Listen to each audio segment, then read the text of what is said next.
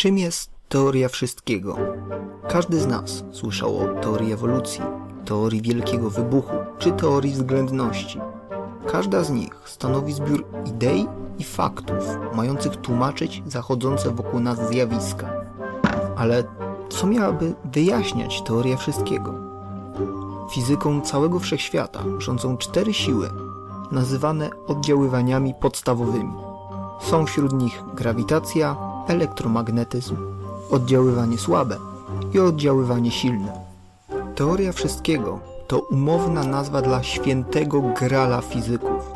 Byłoby nim równanie, może zespół równań, pozwalających na unifikację wszystkich oddziaływań.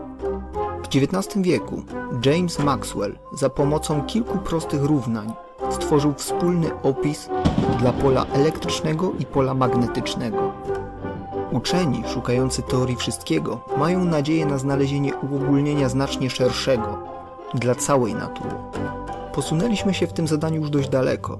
Stworzyliśmy zaawansowany model spajający elektromagnetyzm z oddziaływaniem słabym, a następnie teorię spajającą teorię elektrosłabą z oddziaływaniem silnym. Co zatem stoi na przeszkodzie? Największym problemem wciąż pozostaje grawitacja. Ta prosta siła, trzymająca nas przy Ziemi, w żaden sposób nie daje się połączyć z kwantowymi regułami mikroświata. Zadania opisania zunifikowanej teorii pola podejmowały się największe umysły, na czele z samym Albertem Einsteinem, jak dotąd na próżno. Współcześnie prace te kontynuują entuzjaści teorii strun.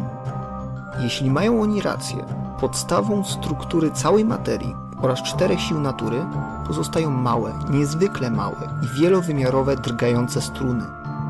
Ich zrozumienie pozwoli nam na odsłonięcie fundamentów rzeczywistości lub jak mówił Einstein, na poznanie umysłu Boga.